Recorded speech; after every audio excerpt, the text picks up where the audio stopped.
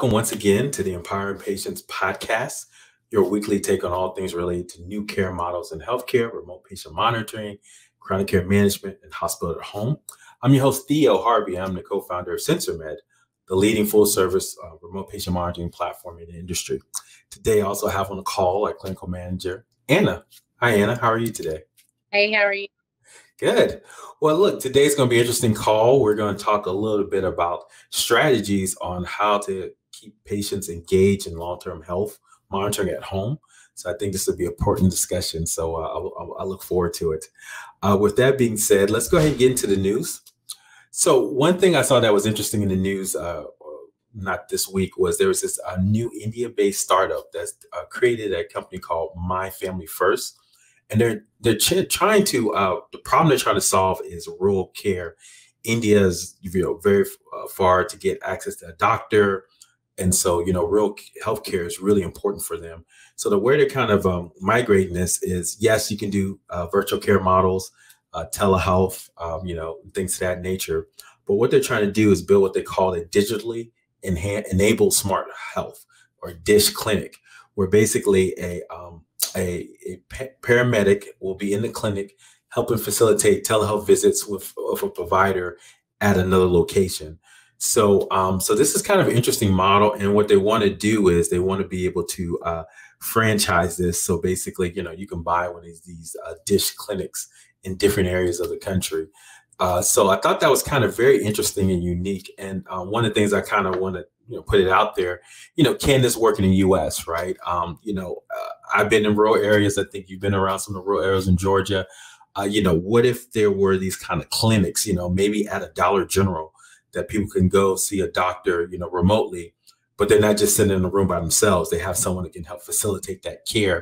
Do you think that could work in the us um, I, I think it, it, it could work, and I, I honestly see it working better in the U.S. than some of those other kind of even more rural countries. Um, just because we're already kind of familiar with telehealth and kind of um, not the traditional way of, of seeing a doctor anyway. Um, and, and definitely, like you said, Dollar General, I think that's a big thing because when I think of rural, I think there's Dollar Generals in almost every rural spot. Um, and so it'll be convenient for patients um, and then maybe give those an opportunity to, to go visit and get the help that they need um, without getting too far out of the way and, and having to figure out how they're going to get there. So I think it's definitely something that could benefit everyone in those areas. Yeah, I agree. Uh, I don't know if you're familiar in Georgia, they have ability for um, uh, children to get access to like a, a mental health professional um, through their um, uh, telehealth options. And so they were actually uh, the children would sit in a room and then we have a telehealth option to kind of talk to a specialist, you know, maybe at Emory, you know, or, or CHOA. And so, um, so yeah, I do feel like you know having these kind of uh, rural centers across the country could be beneficial, but uh, unfortunately, just like anything in healthcare, is tied into uh, you know what's the revenue model, right? Who gets reimbursed? How does that work? Um, some people have mentioned it could work better. Are you familiar with concierge medicine or direct primary care at all? Yes. So some people have mentioned that this could work better as a uh, kind of that model where you pay a monthly fee, right, to go see the doctor.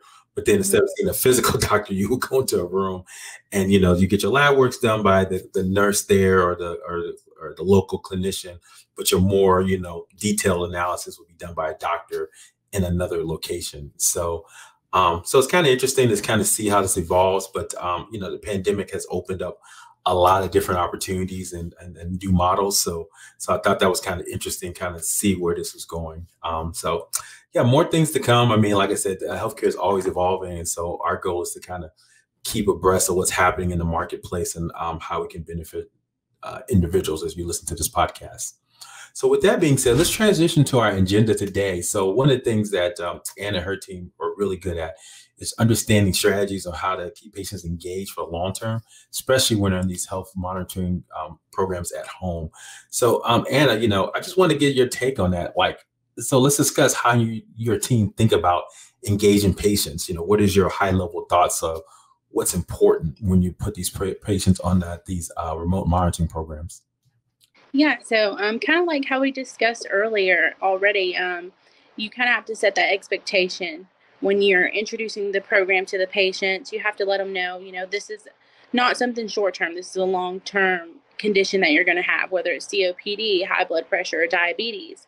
Um, and you want someone that's going to be there with you through the journey um, that can kind of coach you and help you and navigate that chronic um, condition and just give you support, whether it's education on how you can benefit from changing your diet or um, having someone that can kind of serve as like a facilitator between you and your doctor.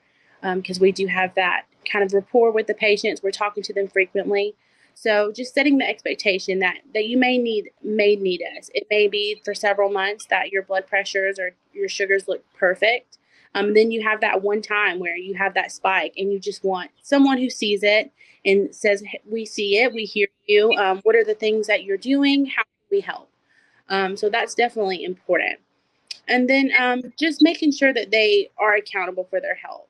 Um, because you know at the end of the day you can only tell someone so much it's it's their job to kind of follow through with that right mm-hmm. um, so if you have someone that's staying on top of it with you giving you the weekly or the monthly calls um, especially you know during covid because a lot of providers are offering telehealth um, some aren't some offices are closed um, and so, so patients are not getting the refills they need. They're not having that interaction with the medical professionals. So that's where we kind of step in and say, you know, we're still here. We're still looking at those. If you need anything, we can help you. We can educate you. We can get that information over to your doctor.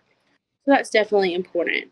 Um, and just making sure all of the nurses are on the same page and, and we're working together to help each other and and get that um, kind of best practice standard set across the board so that we know that we're delivering the best care to our patients. Mm, I love it. No, that's great um, points. Um, and you know, personal story. I know, um, you know, during the pandemic, it was tough for my parents. You know, they're in their sixties and seventies to get a doctor, and so you know, having somebody that was accountable too.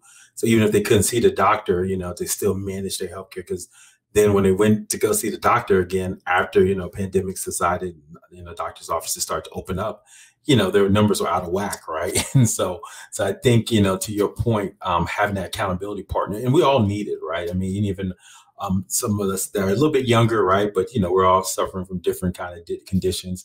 So having that coach that's just there to kind of support you in that that long term care um, i think i think the patients value that. And i think that's important to, to, for them to realize that's that's what they need. And so so i, I love that. I love that. Um, one of the questions that brought up was like you know so I think one of the things that you guys do un- uniquely is just like creating these kind of monthly training kind of goals, you know, with the patients, um, you know, based on not just, uh, you know, healthy holidays, but just in general to help them with their health. So you can break up the monotony with the patient conversations. What are, you know, how do you go about creating that monthly training for these patients? Right. So um, I think at the end of every nursing call, one of the most important things that we try to do is, is set a goal for our patients. Um, and that can be a short term goal, it can be a long term goal. And typically we'll see, you know, those goals are changing each month. Um, so, for example, um, I just spoke with a patient this morning and her blood pressure is very high.